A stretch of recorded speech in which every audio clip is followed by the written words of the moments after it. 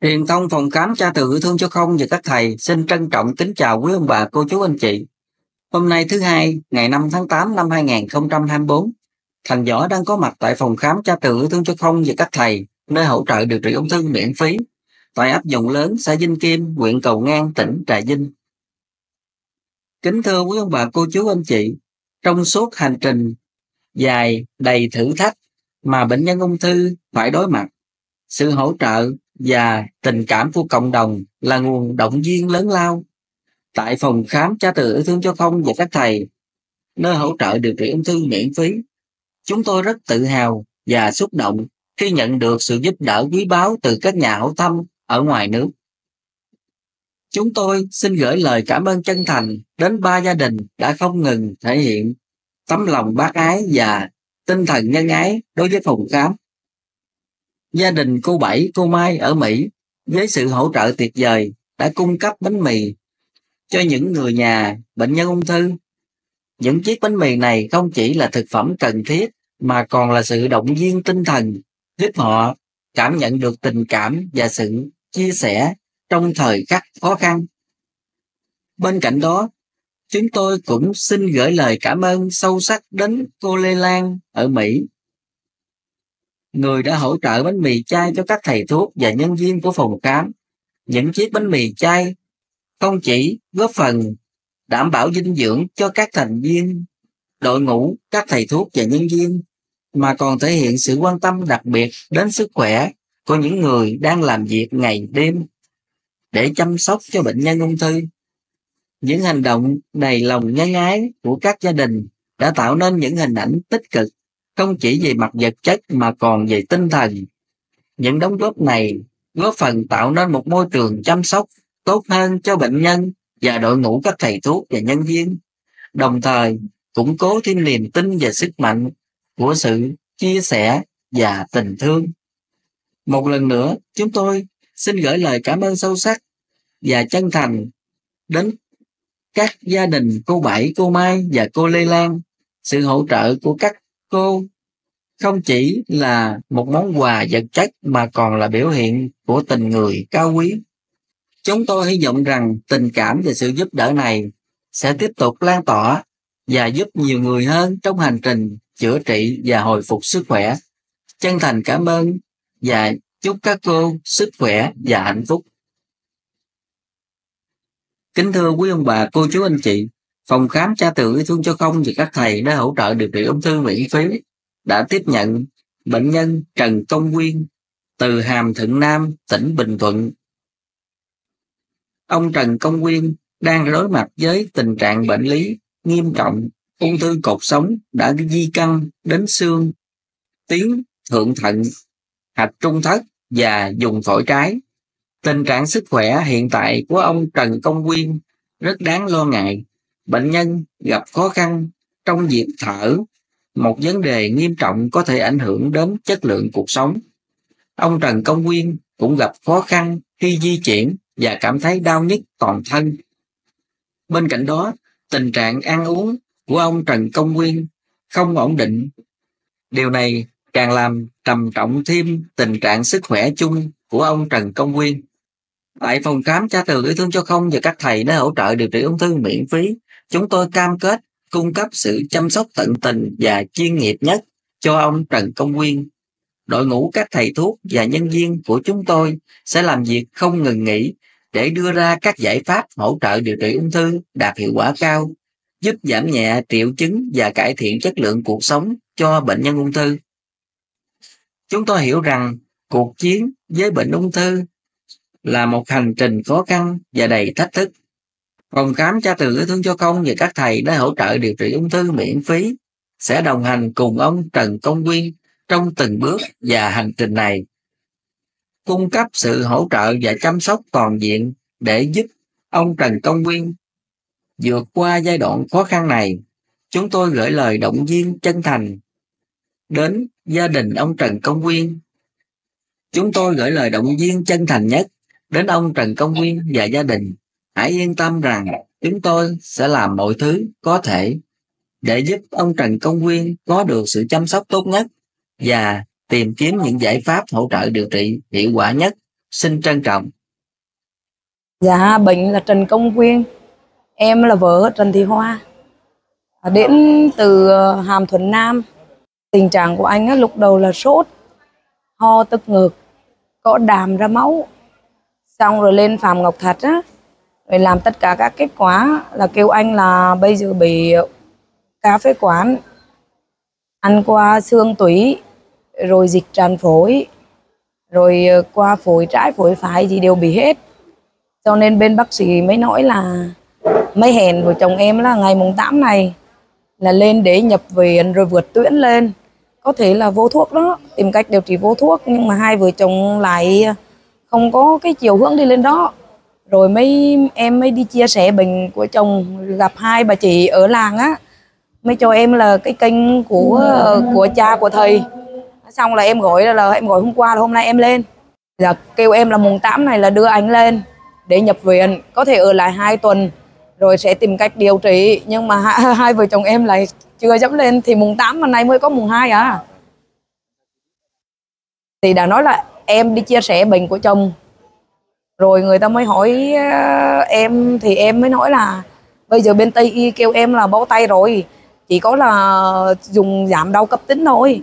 Chứ mà phát hiện ra trẻ như vậy á, là bây giờ một cái bác sĩ Ngọc ở bên chỗ khoa u bướu á mới nói với em là bây giờ hướng điều trị của của chồng em á, là em phải đi tìm thuốc đông y hoặc nam y đi. Chứ mà tây y là bác nói thật là bỏ tay rồi chỉ có là giảm đau cấp tính thôi. Chứ mà không có được cái gì nữa đâu. Có vô hóa trị xạ trị thì cũng là không ăn thua.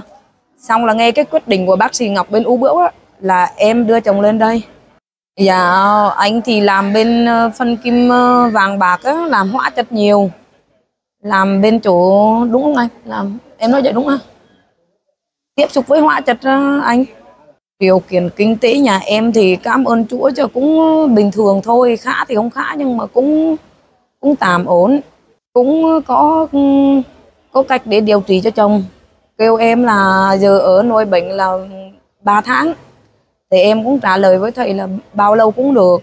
Miễn sao mà lên đây rồi đã tin tưởng phó thác để bớt ừ, bớt bệnh rồi về, cho nên là bao nhiêu em cũng chịu dạ em thấy rất là yêu thương ấm áp chia sẻ. Rồi ờ, với lại cái bữa 30 tháng 7 á, em coi youtube á. Xong rồi thấy được 14 ca ung thư xuất viện á. Tự nhiên em mừng quá xong em quyết định đi lên đây.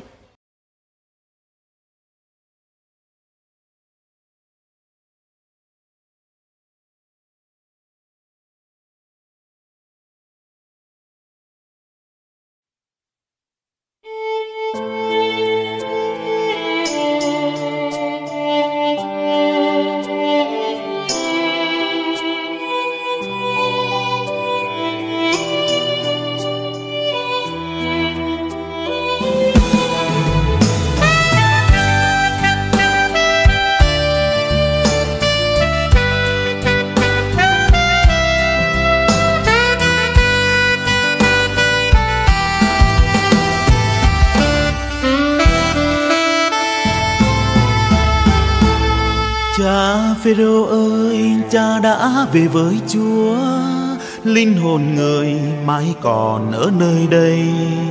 Cha ra đi con thương nhớ đông đậy đến bây giờ vẫn khắc khoải không nguôi. Trước lúc đi cha dặn cho báo người với các thầy phải đoàn kết yêu thương. Luôn cho không ăn cây cọ hạt giống, không thù hận và cũng không sân si. Bệnh nan y hay là u ác tính, găng đầy lùi cho người bệnh khỏe hơn. Chúa giêsu đã ban ơn chữa lành, giúp muôn đời làm bác ai yêu thương. Nhưng cha ơi, có mấy ai làm được? Nói và làm như chớ lòng bàn tay. Nói yêu thương sao vương câu thủ oán? Đến bao giờ cuộc sống mới yên vui? Và cha ơi, chúng con phục dựng rồi biết trước đây, được các thầy mạnh thường quân giúp đỡ. Phòng khám yêu thương chữa bệnh cho không.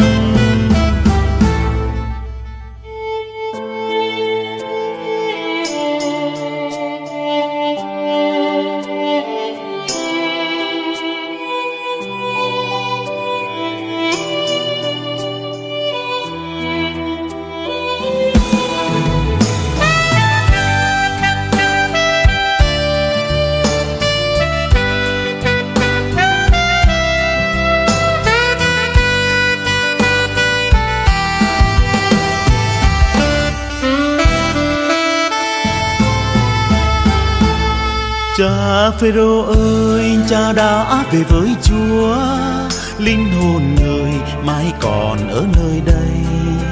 Cha ra đi, con thương nhớ đong đậy, đến bây giờ vẫn khắc khoải không nguôi.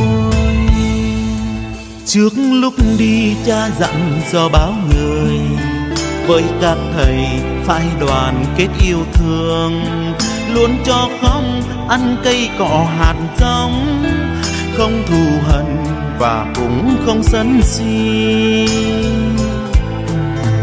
Bệnh nan y hay là u ác tính găng đầy lùi cho người bệnh khỏe hơn. Chúa Giêsu đã ban ơn chữa lành, giúp muôn đời làm bác ai yêu thương nhưng cha ơi, có mấy ai làm được? Nói và làm như chớ lòng bàn tay. Nói yêu thương sao vương câu thủ hoang đến bao giờ cuộc sống mới yên vui? Và cha ơi, chúng con phục chứng rồi. Công tình mà cha tâm huyết trước đây. Được các thầy quân giúp đỡ, phòng khám yêu thương chữa bệnh cho không phòng khám cho không chữa bệnh yêu thương. Phòng khám yêu thương chữa bệnh cho không con.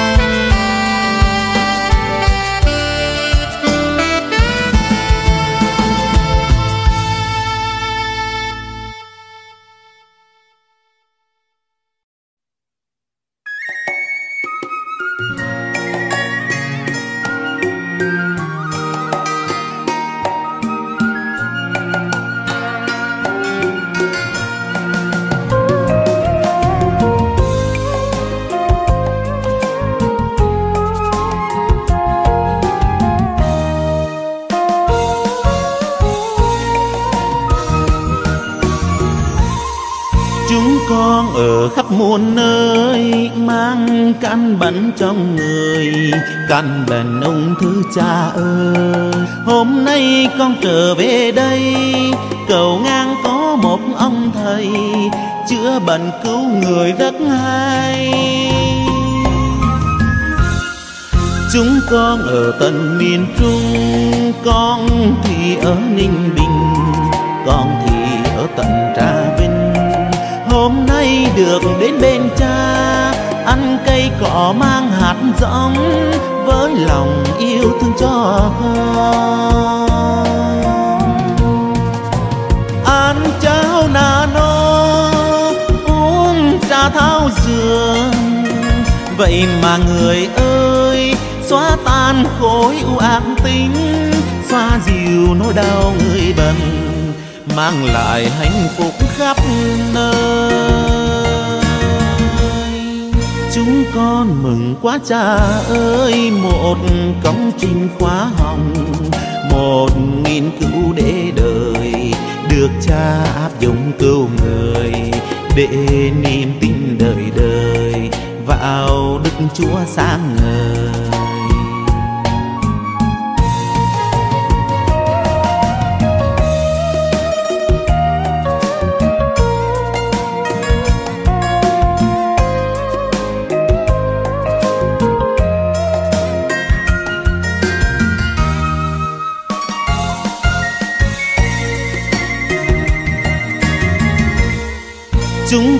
Ở tận miền Trung, Con thì ở Ninh Bình, Con thì ở tận Trà Vinh. Hôm nay được đến bên cha, Ăn cây cỏ mang hạt giống, Với lòng yêu thương cho con Ăn cháo nà nó Uống trà thao dừa vậy mà người ơi xóa tan khối u ác tính xoa dịu nỗi đau người bần, mang lại hạnh phúc khắp nơi. Chúng con mừng quá cha ơi, một công trình khoa học, một nghiên cứu để đời, được cha áp dụng cứu người, để niềm tin đời đời, vào đức chúa sáng niềm tin đời đời. Vào thiên chúa sáng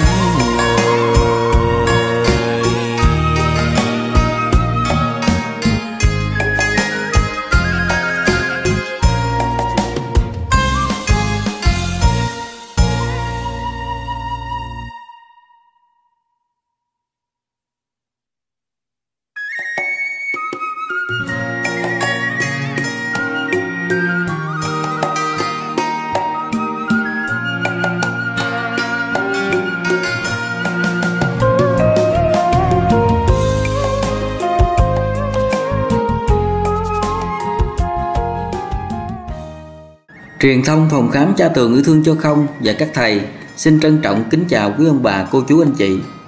Hôm nay, Thành Võ xin thực hiện đoạn video clip hướng dẫn đường đi đến phòng khám cha tường yêu thương cho không và các thầy nơi hỗ trợ điều trị ung thư miễn phí tại ấp Dòng Lớn, xã Vinh Kim, huyện Cầu Ngang, tỉnh Trà Vinh. Từ bến xe miền Tây thành phố Hồ Chí Minh đi đến phòng khám khoảng 135 km. Thành Võ đang có mặt tại bến xe miền Tây tọa lạc tại số 395 đường Kinh Dương Vương thuộc địa phận phường An Lạc, quận Bình Tân, thành phố Hồ Chí Minh. Tại đây, quý ông bà, cô chú, anh chị đi đến phòng khám phải đi xe khách về tỉnh Trà Vinh. Hành trình xe khách đi theo hướng quốc lộ 1 đến Trung Lương, thành phố Mỹ Tho, tỉnh Tiền Giang. Tiếp đến, xe khách rẽ vào quốc lộ 60 đi đến cầu Rạch Miễu, địa phận giáp ranh của tỉnh Tiền Giang và Bến Tre. Tiếp theo xe khách đến cầu Cổ Chiên thuộc địa phận giáp ranh của tỉnh Bến Tre và tỉnh Trà Vinh. Sau đó, xe khách đi vào nội ô thành phố Trà Vinh để sang xe trung chuyển. Tiếp theo, các xe trung chuyển của nhà xe sẽ đưa quý ông bà, cô chú anh chị đi đến phòng khám. Hành trình từ nội ô thành phố Trà Vinh đến phòng khám cha tường yêu thương cho không và các thầy nơi hỗ trợ điều trị ung thư miễn phí khoảng hơn 20 km. Vị trí này là đường Nguyễn Thiện Thành. Cách nội ô thành phố Trà Vinh, trường đại học Trà Vinh khoảng hơn 1 km. Sau đó quý ông bà, cô chú anh chị di chuyển vào quốc lộ 53. Tiếp theo là đến nhà thờ Phước Hảo. Tiếp theo là đến cổng chào của huyện Cầu Ngang, tỉnh Trà Vinh. Tiếp theo là đến nhà thờ Vinh Kim thuộc địa bàn của huyện Cầu Ngang.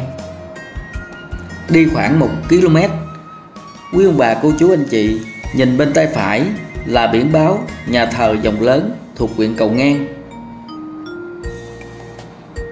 Sau đó, quý ông bà cô chú anh chị rẽ trái vào nhà thờ dòng lớn.